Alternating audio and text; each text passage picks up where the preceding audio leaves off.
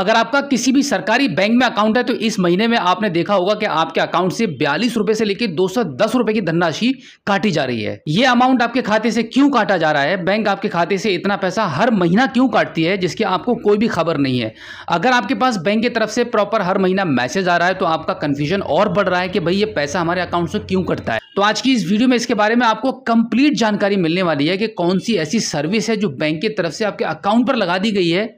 जिससे आपका हर महीने इतना बैलेंस कट रहा है, जिसके बारे में आपको कोई भी जानकारी नहीं है कि इसमें आपका क्या बेनिफिट हो सकता है, बैंक का इसमें क्या फ़ायदा है, बैंक ने कैसे और कब ये स्कीम चालू कर दी है कि हो सकता है कि जाने अनजाने में आपने कोई फॉर्म भर के बैंक में जमा कर दिया है, जिसके अकॉर्डिंग आपका यह हर महीना पैसा कट रहा है। तो देखिए, अगर आपके भी अकाउंट से इस प्रकार का कोई भी पैसा बैंक के द्वारा आपके खाते से काटा जा रहा है तो अब आपको बिल्कुल भी चिंता करने की ज़रूरत नहीं है। पहले आप ये समझ लीजिए कि कौन सी स्कीम है, क्यों बैंक आपके खाते से पैसा काट रही है, इसमें आपका क्या बेनिफिट है। उसके बाद आपको आगे का डिसीज़न लेना होगा।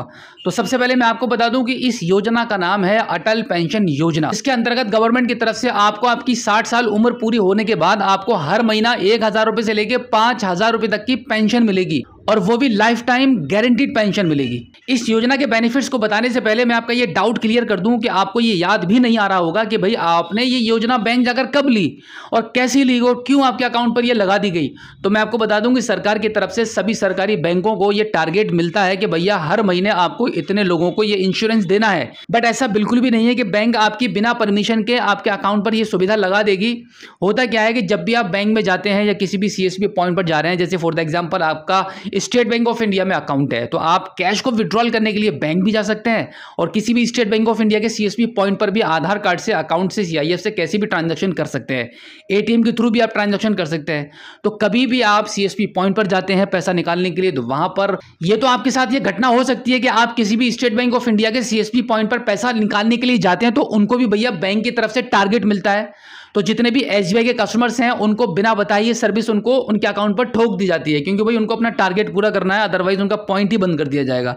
ऐसी कुछ थ्रीट्स मिलती हैं बैंक की तरफ़ से और कंपनी की तरफ़ से, कि अगर आप इंश्योरेंस पॉलिसी को कस्टमर्स को नहीं दोगे तो आपका पॉइंट बंद कर दिया जाएगा। तो तो बहुत सारे कस्टमर के केस में ऐसा भी हुआ है कि भाई उनको पता नहीं होता है कि ये सर्विस कब लागू हुई तो उनको ये ध्यान रखना होगा कि आप किसी भी स्टेट बैंक ऑफ़ इंडिया के सीएसपी पॉइंट पर जा रहे हैं तो वहाँ पर आपको ये सर्विस दे दी जाएगी। लेकिन यहाँ पर मैं आपको बता दूँ कि ये जो योजना है, वो कोई गलत योजना नहीं है, क्योंकि सरकार का इसके पीछे एक बहुत बड़ा मोटिव छुपा हुआ है और वो ये है कि जितने भी मिडिल फैमिली वाले लोग हैं, जितने भी मजदूरी करने वाले लोग हैं, जितने भी ऐसे लोग हैं जिनका बुढ़ापे में कोई सहारा नहीं होता है, उन सभी को उनके बुढ़ापे में लाइफ टाइम एक सहारा बनाने के लिए इस योजना को लगाया गया है। जैसे कि मैं आपको बता दूँ कि प्रैक्टिकली बहुत सारे केसेस में ऐसा देखा गया है कि जब पति पत्नी की एज जब अधिक हो जाती है तो बुढ़ापे में उनको किसी न किसी एक सहारे की ज़रूरत पड़ती है। और कुछ केसेस में ऐसा भी देखा गया है कि बुढ़ापे में उनको घर से ही निकाल दिया जाता है।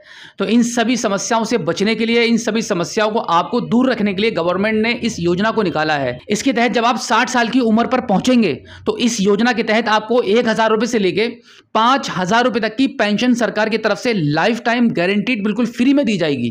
अब हम बात करते हैं अटल पेंशन योजना के बेनिफिट्स के बारे में। अगर आप ये चाहते हैं कि इसको बंद कैसे कराना है? तो इसके बारे में भी लास्ट में मैं आपको बताऊँगा तो वीडियो में पूरा बने रहिए। पहले हम इसके बेनिफिट्स को जान लेते हैं। हो सकता है कि इसके बेनिफिट्स को जानकर आप इसको बंद कराने का इरादा ही बदल दें।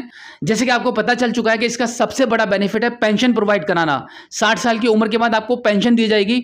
अब इसके दौरान जब आप इसको कंटिन्यू कर रहे होते हैं, हर महीना आपके अकाउंट से बयालीस से लेकर दो सौ दस तक की जो पेमेंट कट रही होती है, वो आपके एज के अकॉर्डिंग कटती है। अब यहाँ पर मैं आपको इसकी कंडीशन ये बता दूँ कि 18 साल से लेकर 40 वर्ष तक के ही लोग इसको ले सकते हैं। इस योजना में मैक्सिमम पाँच प्लान होते हैं। एक हज़ार रुपए से लेकर पाँच हज़ार रुपए तक के किसी भी प्लान को आप चूज़ कर सकते हैं। उसके अकॉर्डिंग ही आपका पैसा आपके अकाउंट से कटेगा। जैसे कि अगर आपकी एज अठारह साल की है और आप पाँच हज़ार मंथली वाला पेंशन प्लान को चूज़ करते हैं तो फिर आपके अकाउंट से आपकी साठ साल की उम्र तक दो सौ कटेगा और आपके पेंशन अकाउंट में जमा होता रहेगा। अब यहाँ पर सरकार ने आपके लिए यह भी सहूलियत दी है कि अगर पेंशन होल्डर की डेथ हो जाती है तो उस कंडीशन में पति या पत्नी को उसका पेंशन का अमाउंट मिलता रहेगा। और अगर पति या पत्नी की दोनों की डेथ हो जाती है तो इस कंडीशन में सरकार की तरफ़ से साढ़े आठ लाख रुपए की नॉमिनी को आर्थिक सहायता प्रदान की जाएगी। अब इसमें एक और पॉइंट आपके फ़ायदे के लिए यह रखा गया है कि अगर पेंशन होल्डर की साठ साल से पहले ही डेथ हो जाती है तो इस कंडीशन में पति या पत्नी इस पॉलिसी को अपने नाम पर ट्रांसफ़र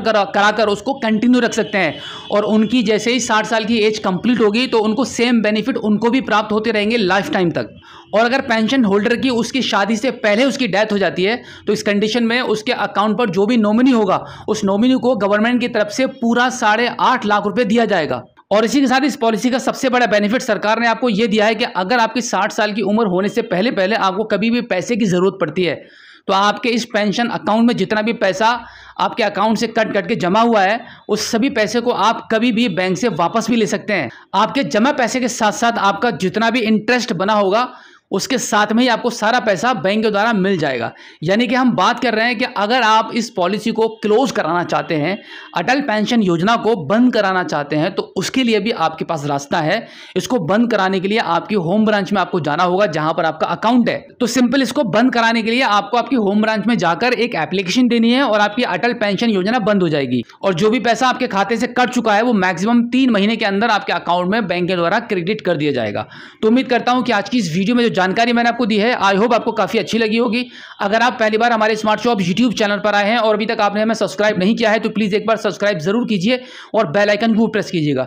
तो चलिए दोस्तों, मिलते हैं आपसे किसी और एक अगली वीडियो में एक नई जानकारी के साथ, एक नई अपडेट के साथ और एक नए जोश के साथ। तब तक के लिए जय